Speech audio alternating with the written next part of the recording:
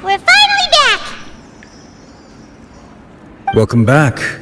We've got a special menu prepared for you two tonight. Yay! And there's good food too! Navi, uh, no, the boss is the best! Ooh, desserts! Nice! These are all Paimon's! Paimon's already starting to forget what happened today.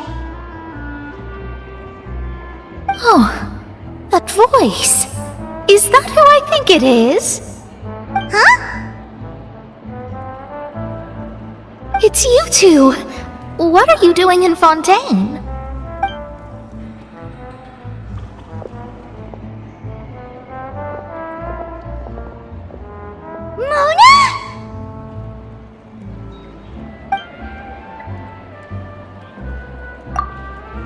Seriously, nobody just uses a scry glass whenever they've got time to just see who they'll meet on the road. Still, we didn't expect to see you here! Uh, wait, you're not a Fontanian, are you, Mona? Well, I have some business to attend to here, so I booked a hotel in the city. I was just out for a stroll when I bumped into you. Quite unexpectedly, if I might add. Why did you think I was from Fontaine, though? Is that because Megistus doesn't sound much like a Mondstadter surname? Uh, yeah, let's go with that. Well, I used to have my own surname, which was, well, some other thing. Either way, the old hag told me when she took me as her disciple that the first step to being a great astrologist's pupil was to change that name. There was nothing for it, really. She really is amazing at astrology, so I changed my name to what it is now according to her wishes. To my surprise, however, Megistus is not the name of some ancient house or clan. Uh, it isn't? Nope. Although it is used by us in place of surnames, it generally just means great. Wow! Imagine including a boast in your name. Wait, are you gonna have to put that into your genealogy as well? I reckon so. In any case, I'd give my disciple a name like this as well, if I were to take one. Astromancer Barbeloth Trismegistus. Whoa, that's a long one. Does it also mean great or something? My name means Mona the Great Astrologist. As for the old hag, hers is, in plain speech, the thrice as great scholar of the stars. Just take it as a title specific to astrologists. Thrice as great? That's so petty. I know, right? That's just how she is. She used to call herself Megistus, actually, but when she took me in, she changed her name to Trismegistus. Talk about excessive. Megistus is thus the calling card of our school, so to speak, which makes it about the same as a surname. It's all right if you don't get it. You can look into it further should you need to study astrology more deeply. That sounds terrible! Ugh. But anyway, you're not Fontanian, are you, Mona? You're from Mondstadt, right? Well, I was born in Mondstadt, yes. My parents migrated to Dornman Port, and I traveled with the old hag for a while, after which I settled down in Mondstadt City. Oh, that's a good thing then. At least we know you won't be dissolved by Fontaine's waters. Hmm, speaking of that, I'm sure you're aware that a bunch of things have happened here in Fontaine, right? I know you're not a local, but I'd avoid getting too close to any water that looks strange all the same. There's something ominous about it. The water, I mean. That was the main reason, yes. Just a while back, the Steambird invited me to take part in a panel and speak about the circulation of the prophecy as an astrologist. The invitation was sent quite early on. I don't think anyone expected Fontaine to be in this much trouble. What do you make of that prophecy, Mona? Just tell us what you think as an astrologist. Your word would go a long way to make things more certain and less scary. What I can tell you is that I'm an astrologist, and that this prophecy concerns the fate of Fontaine, even that of all Teyvat. Ascertaining this is akin to reading the fortune of the whole world. I'm afraid that this is not something that just anyone can do. If I could do it, you would no longer call me an astrologist, but a visionary. But on the flip side, the prophecy is so huge and powerful that it must surely come from a powerful visionary. Its contents involve the fate of the world. Disregarding it would be a mistake. A visionary? Sounds really powerful and all, but does such a person really exist? Of course. The old hag could do it, and I'd bet there are others amongst those Hexenzirkel colleagues of hers who could do something similar. Huh? Uh, are you sure? Hmm. All right, I'll help you. It isn't often that I see you with such a serious look on your face. I'll tell you once I hear back from her. Thanks, Mona! You're amazing as always! Oh, well, this is something only I can do after all. So, yes, your praises are quite welcome. That's the greatest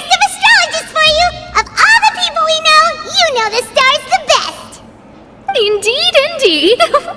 That's the spirit. Oh, sorry. I came to see what all the commotion was about. If there's anything you need, do not hesitate to inform the Spina di Rosula. Oh, whoops. Guess we were getting a little too carried away there. Well, I'll go tend to my own business now. If I receive any news, I'll be sure to come find you two again. And there she goes, quick as rushing water.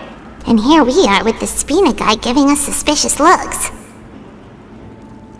Right, but we were able to recruit Mona's help, didn't we? Our Fontanian friends will thank us someday.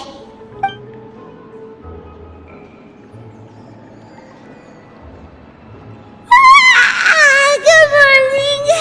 To be honest, Paimon's still feeling kind of sleepy.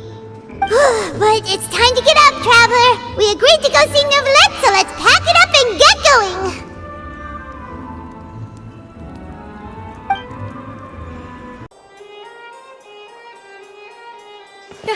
You're here! Finally! Uh, is something wrong? Monsieur Neuvillette and Lady Furina, they, they seem to have gotten into a dispute. Please go see for yourself.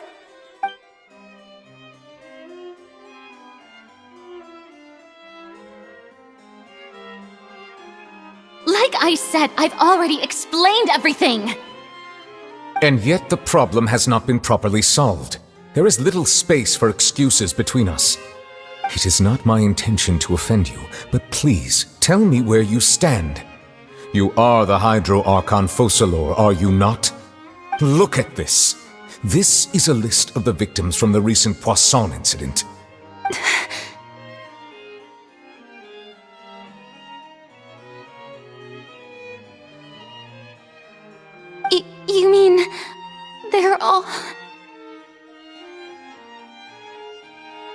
We did not arrive in time to avert this disaster, and I will not have it happen again.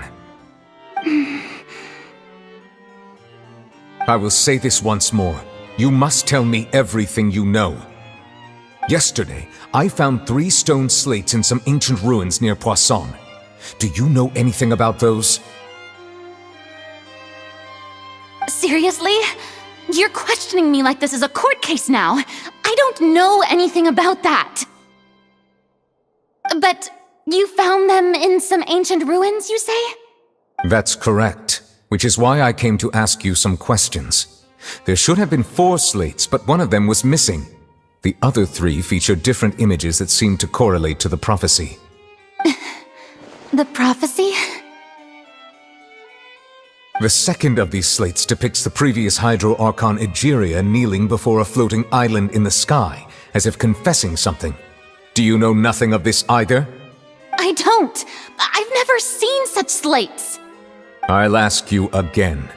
Do you really have no information regarding the previous Archon? My deciphering of the slates indicates that the Hydro Archon Egeria once had to confess to, or apologize for, a certain sin. If anyone would know about it, it should be you. All gods don't have the same secrets, you know.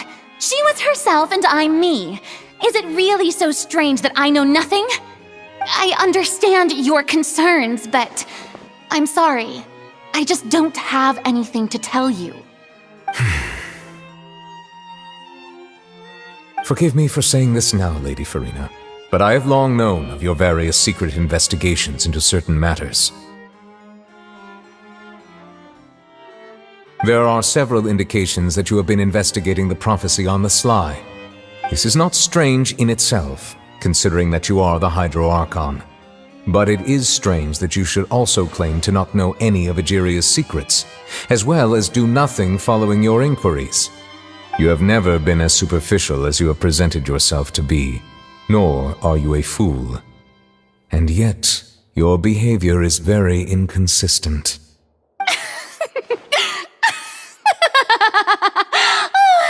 so you've been watching me all this time, have you? I didn't think you were that type. You. Well, since you know about my secret investigations, then you should know I'm actually working to take care of it. There's no point questioning or suspecting me. You're the Iudex, but you're still my subordinate. You should be following my lead. Just trust in me, your Archon, and do as I say. Never mind whether you can truly convince yourself to or not. It'll all turn out fine. That's all I have to say. We do not discuss this matter again. Oh, the opera's about to start. Toodles!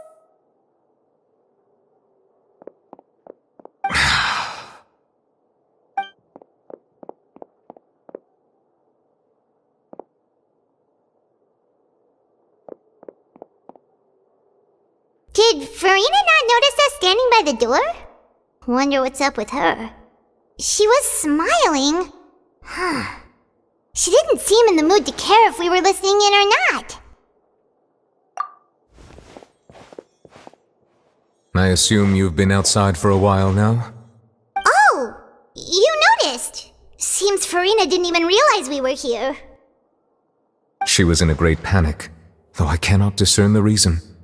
Our discussion reached impasses time and again, a state of affairs that we cannot allow to continue. Still, I do not understand. Dialogue is the basis for understanding, so why did she keep refusing to engage? Everyone in her inner circle has noticed that she is hiding some secret. The issue is her attitude. I fear that she will not reveal anything unless absolutely forced to. We may have to create a situation in which she will have no choice but to speak. Oh? Like what? Normally, people will only reveal the truth when standing trial. Perhaps we must have the Hydro Archon experience just such a scenario. But Furina's seen so many trials, and she's really good at dodging questions. How do we make sure that she won't just slip away at the first chance she gets? We will need to consider this thoroughly, join forces with various parties, and then do what we can. if at all possible, I would prefer to recuse myself from this affair, but we must prevent the prophecy from coming to pass. This may be cruel to her, but all Fontaine is in crisis. The information a god possesses is too precious, and so we must take a chance on this. Hmm, but who will lend us their aid to do such a thing?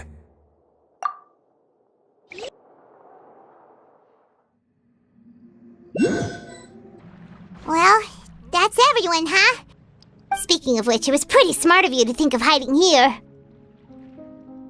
Poisson was just involved in a disaster, so it's presently devoid of people. That naturally makes it the best choice. And here you are drinking tea like it's the most natural thing in the world, huh? That's what family should do.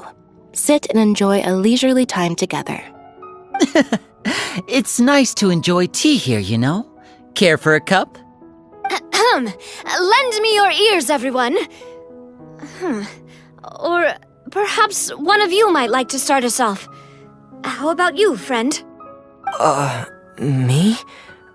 No, I don't think I can. Uh, then, how about you, good sir?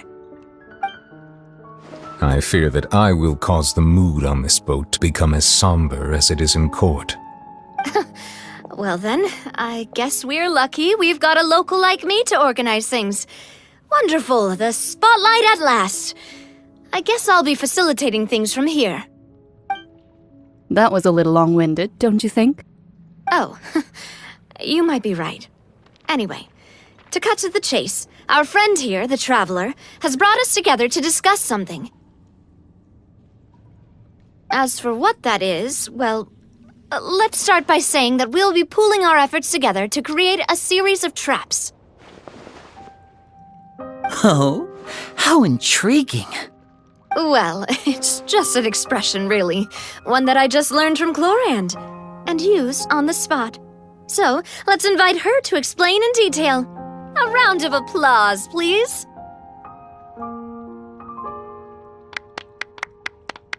Huh?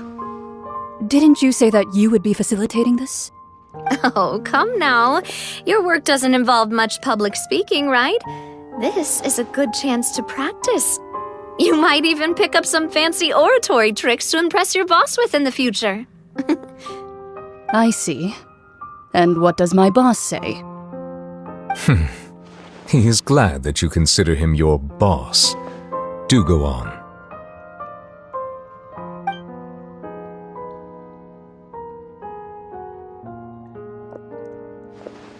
In that case, do any of you have experience hunting? Not that I recall. Freminet and I once used a wooden stick in a basket to catch wild rabbits when we were younger. As for Lynette, um. Oh, right. You were sick that day, weren't you? Uh, I've also gone diving to catch some fish before. Does that count? Ah, I'm afraid not. You may or may not have heard, but Fontaine once played host to a group known as the Marechaussee Hunters.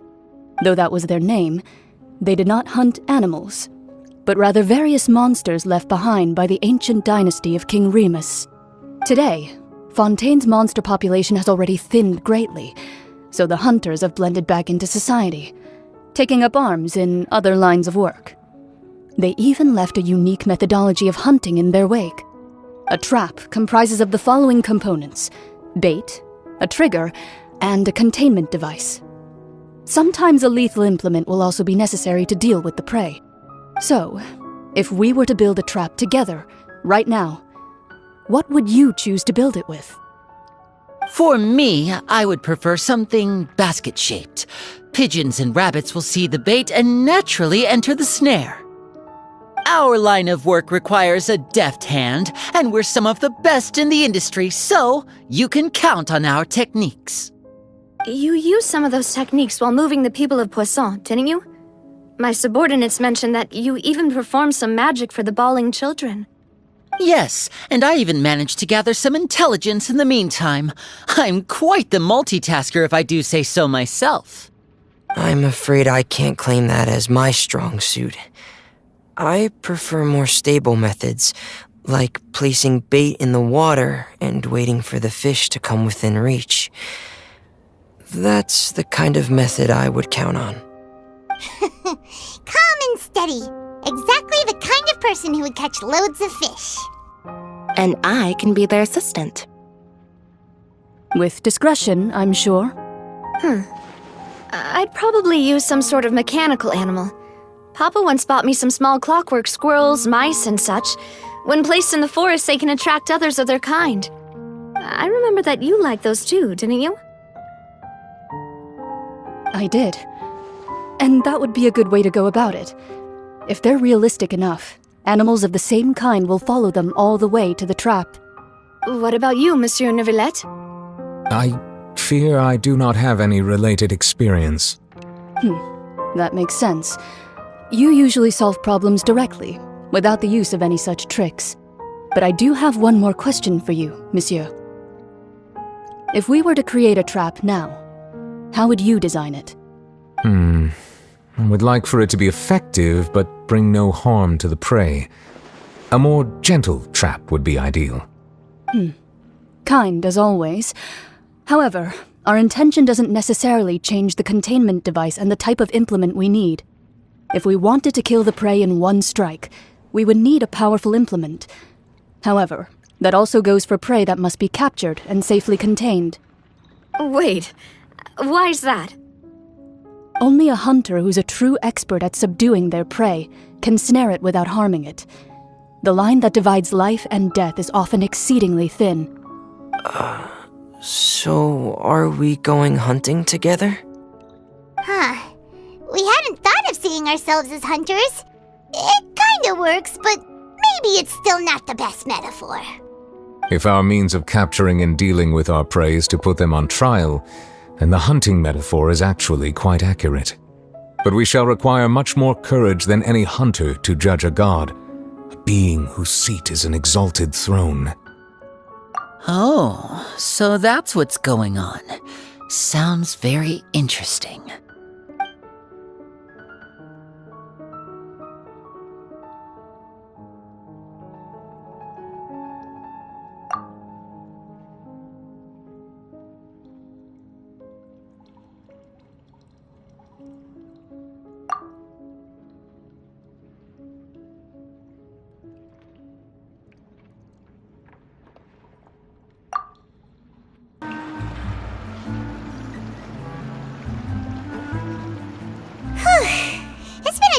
Days, hasn't it?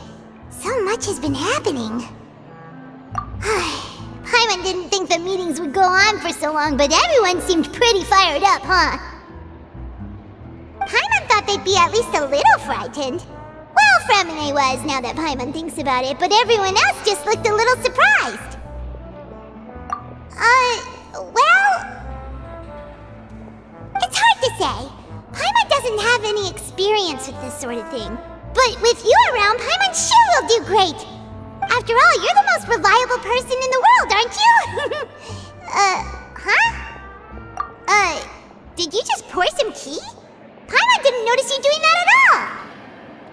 Uh, then what's that?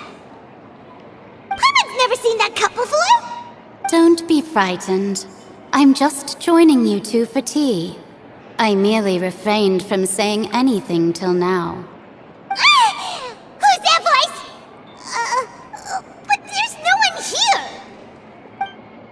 Hmm, what a strange conclusion, but also such an interesting one.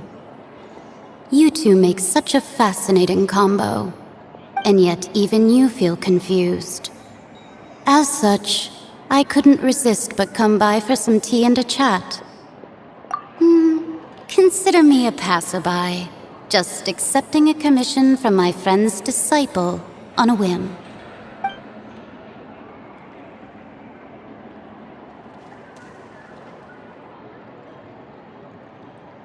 Precisely. Call me N, a mage who wanders the world. At least, that's how my friends have suggested that I introduce myself. The prophecy. Yes, what has been prophesied will be fulfilled. You may view such things as the history of the future. What? The, then is there any way we can stop it? People call such things fate, and it is written in the stars. It cannot so easily be altered. Ah, so you've caught on.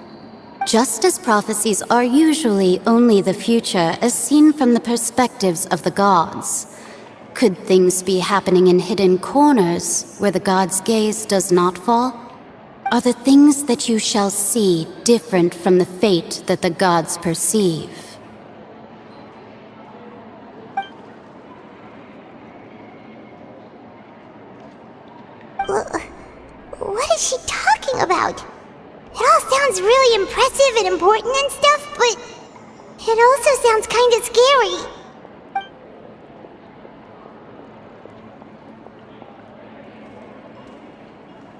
I believe that you understand, right?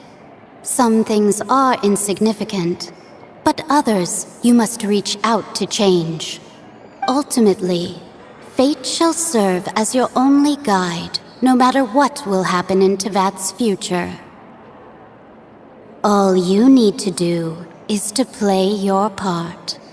Hmm, this was good tea, by the way. Thank you for your hospitality. Well, that'll be all for today. The voice. It's gone.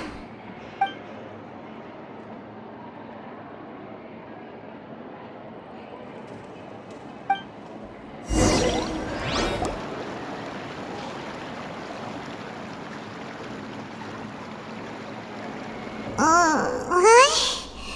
I want to hear someone talking. Ah, all right, all right, coming. Hey, it's you who's getting lazy, okay? Well, I see I've walked in on some lively banter. Luna! Fine, just fine. I went to take part in that Steambird panel.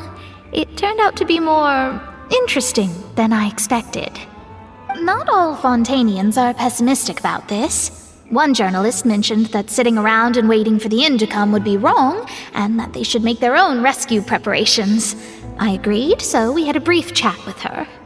Uh, did she have pink hair by any chance? Why, yes, it was Charlotte. I assume you've heard of her, no? That daredevil journalist? I'm in full support of her view. Prophecies are very important, but how can people allow their lives to be commandeered by just a few words? That's right! Paimon's glad to hear something sensible for once. Ah, yes, about what we had discussed before. I did try, but I'm afraid I couldn't reach the old hag. I'll try again tonight, but I wouldn't get your hopes up. Huh?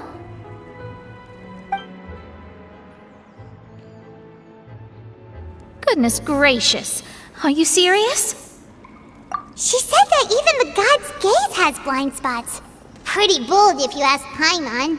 Most people would believe the gods to be all-knowing, right? The Hexenzirkel members are certainly anything but ordinary. As for the mage named N, the old hag has mentioned her a few times. She said that N's sense of direction is incredible, and that she loves guiding those who are lost. But I've never met her, and if she were still alive, she'd be. well, suffice it to say that the hag's at least a few hundred now, and N's been around for longer than that. Whoa. The Hexenzirkel sounds like a scary group. But they must really stay in shape to live so long. Their abilities alone are pretty terrifying. If she came to see you personally, then the problem you're facing must truly be of great importance. Well, it's not like Paimon could understand anything she said. Yes, she was quite cryptic, but I suspect she means that there is still a way to turn things around. She didn't say when or what that would be, though, so.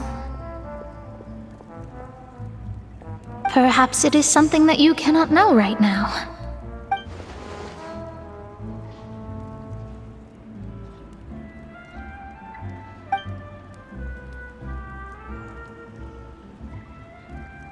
Traveler, Paimon, are you two alright? Oh, we're fine. We're just a little down right now. It kind of feels like the end is coming, you know? I see. I feel that same sense of desperation, too. I guess you could consider me someone who has often witnessed fate. So far as I have seen, it cannot be swayed. But even so, I still hope for and believe in miracles. Astrology is eternal and rational, but fate may not be. It is cruel, but it can also be beautiful. Perhaps that's what N was trying to tell you. Not to lose heart, and to believe that what you are seeing playing out before you is not yet set in stone. I did originally think of steering clear of all this, but I couldn't. Even if this is all futile, I still wish to help everyone. If we don't struggle to the last, then how can we face the end when it comes? Huh. You do have a point. There I go, talking about astrological principles again. Sorry about that. The moment I start talking about work related stuff. I- oh, I need to get going. It was worth trying to comfort you, even if only a little. I believe that you'll help those who are struggling in the same way I did. I suppose that might be why we always seem to meet by coincidence. Paimon feels kinda moved by what Mona said. But also kinda sad, too. Hey, Traveler. Paimon suddenly feels like going outside for a walk. Let's go. Let's walk around the city, shall we? There's a few spots we always like to walk by. Uh, huh? Our names are written in this newspaper. Uh, what's going on? Let Paimon see! The underwater stronghold, the Fortress of Meropide, has continued in its noble autonomy, but that does not mean that others cannot interact with it. My recent attempts to enter the fortress bore little fruit. Huh. Guess Charlotte still hasn't given up on that. Thus, did an Outlander friend become the focus of this report? A blind adventurer with their white fairy legends trailing in their wake. It is said that this mysterious traveler once visited the underwater fortress. So while the fortress's interior remains a mystery behind closed doors, do not fear, for the tales of the traveler contain surprises in spades. Journalist Charlotte's biggest scoop yet The Traveler's Trail, World Walker. Huh. Charlotte took so many awesome photos of us and we never even noticed her. She hasn't been able to get a hold of anything at the fortress, so since we're easier to find, she's using us as the subject matter instead? Ugh, seriously? Well, fine. Those headlines and photos do look cool, so Paimon will forgive her this time.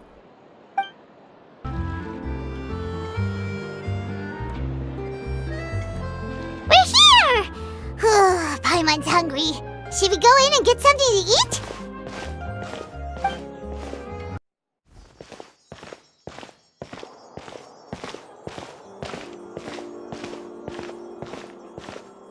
Hey, quick! Look! That's... That's the limited edition only 16 slices a day cake! It was so delicious the last time we tried it! Despite the tense situation we were in, let's give slice of cake, please. Ah, someone showed up after all! Oh, wait, you're the one from the Palais Mermonia. Oh, are you here to buy cake too? it seems Monsieur Neuvillette was right. You really can eat. Wait, did he really say something like that? That's right. Even he has his own preferences when it comes to food. As for me, I love the cake and coffee here. Do you come here often? Mm, usually every day. Every day? It's part of my daily schedule, apart from work. I shall have my cake and coffee. Uh. Then what if someone told you one day that this place would be closing soon, and you wouldn't get to eat cake here anymore? What would you think? But why would it close? Well, Paimon doesn't know either, but maybe... Maybe the waters will rise tomorrow. You know, like in the prophecy. Oh, the prophecy. Um, to be honest, I haven't paid much attention to that. No. Still, even if there'd be no more cake tomorrow, that wouldn't keep me from having some today. No, no. It's the same for eating in general. You might not be able to eat tomorrow, but if you can do so today, then you should carry on. That's what people call living, you know. Huh. Don't be sad. Excuse me, could I have two more slices of cake to go?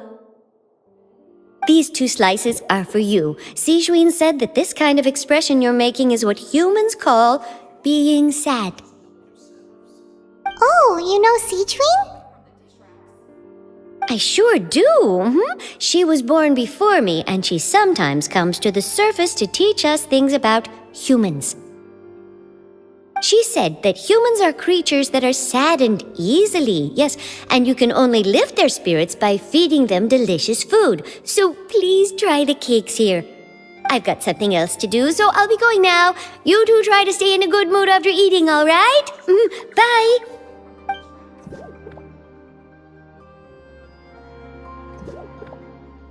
And there she goes! Alright, let's dig in. I'm sure this cake will be delicious.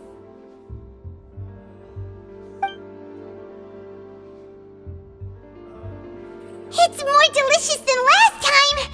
And the flavor gets even better with a sip of tea. It sure would be nice if we could come again tomorrow.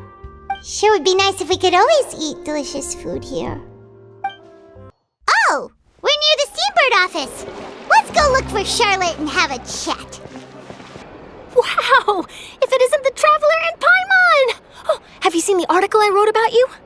Ha! You've got some nerve! You just used us to make some quick mora! Oh, you needn't worry about that. I heard that you were in Poisson some time back, so I sent you a letter to discuss just that. It appears you didn't receive it, though. It's all right, though. I've set aside the amount intended for you. I've even set the table with some food. Really? Oh, you're the best!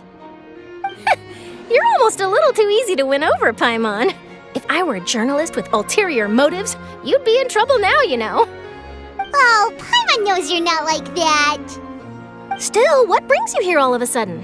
Were you looking for me? A friend of ours met you a while back, and when she mentioned it, we thought of coming to see you. Her name's Mona. Ah, so you know Miss Mona as well. She's a guest columnist for our paper. A really good one, too. She's so young and already such a brilliant astrologist. So she mentioned me? What did she say?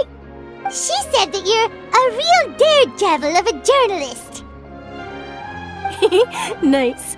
In which case, can this daredevil journalist dare to request an exclusive interview with the legendary traveler and Paimon? Article in the paper today doesn't count?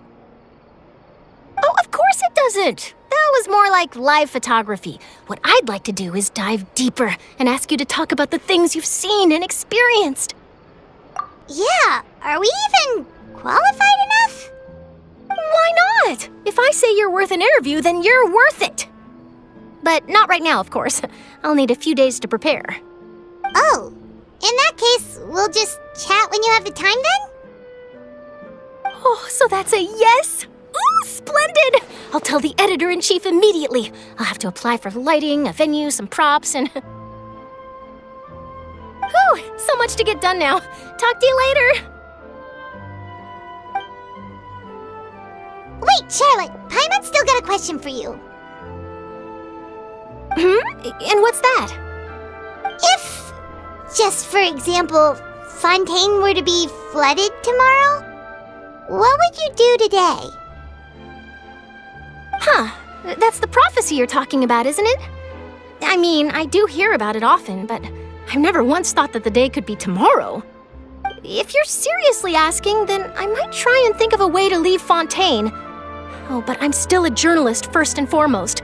That means I have a duty to be reporting from the scene. And secondly, I wouldn't forsake my homeland that easily. From what I've seen, most people don't know what they'd do should the worst come to pass.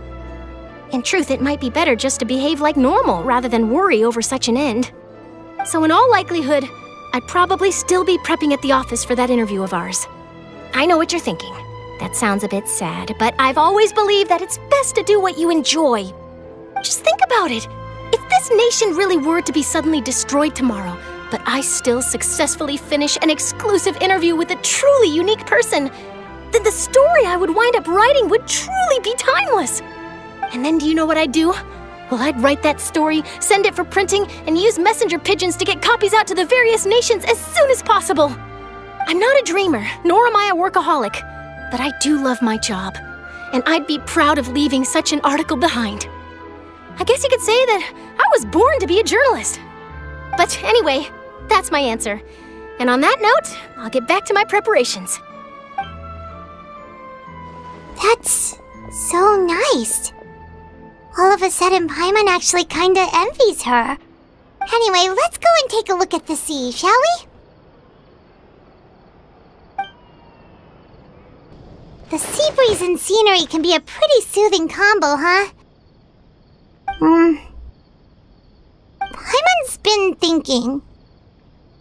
If it wasn't Fontaine, but all of Teyvat that would be destroyed tomorrow, where would we go and what would we do? No, Paimon should ask, if you could choose, what would you like to do?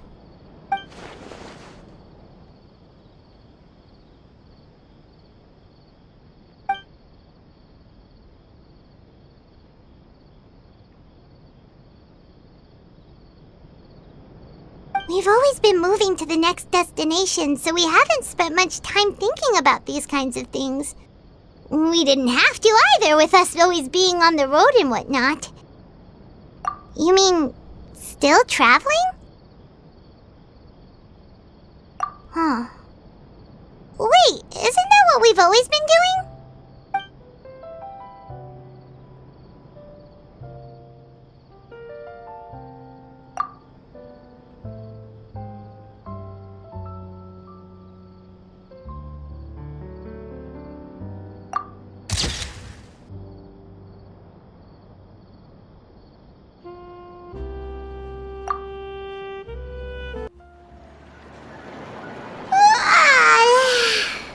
Like you'll grow mold if you stay here long enough. But it's still better than the Fortress of Meropide, that's for sure. It's not only damp there, but salty too. Ah, so the two of you are still here. Wonderful. Oh, you're from the Palais Mermonia, aren't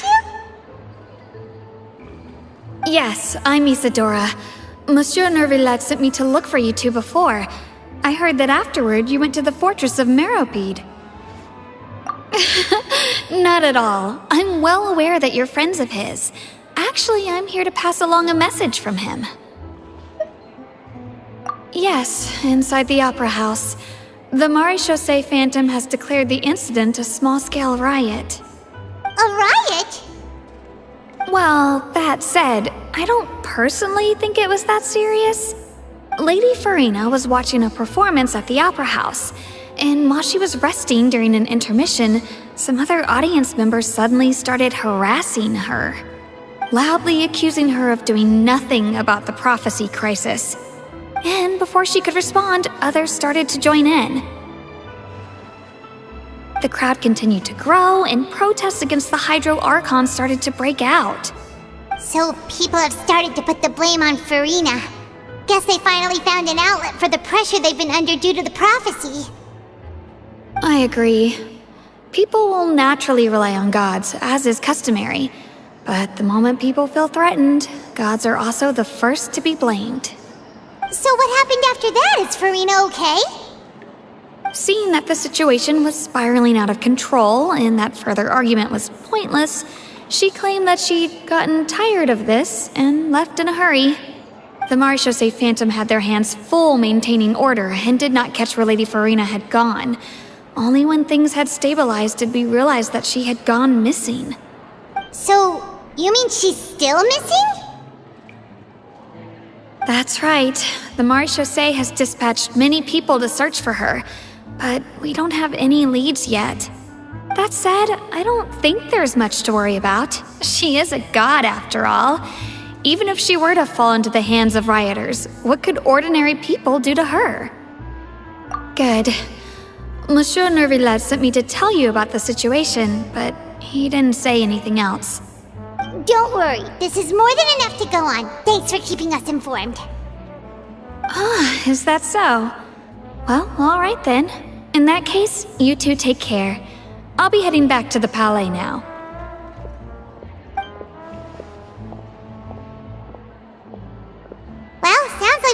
Hurry over to Poisson then. If we know Furina, she won't try to fix things in this situation. Instead, she'll look for a place to wait out the heat. And as we also know, she may be loud and dramatic, but she doesn't have a heart of stone. When Neuvillette was talking to her in the Palais Mermonia, and she heard about Poisson, she couldn't hide her sadness and remorse. It would be hard for her to ignore being accused by the public today. Paimon thinks Furina's probably taken the opportunity to slip away to Poisson and try to relieve the sense of guilt that she's feeling. Huh! Well, what do you think? Paimon knows the answer, of course, but Paimon can do the analysis to back it up too. Cool, huh? In that case, there's not a moment to lose. Poisson, here we come!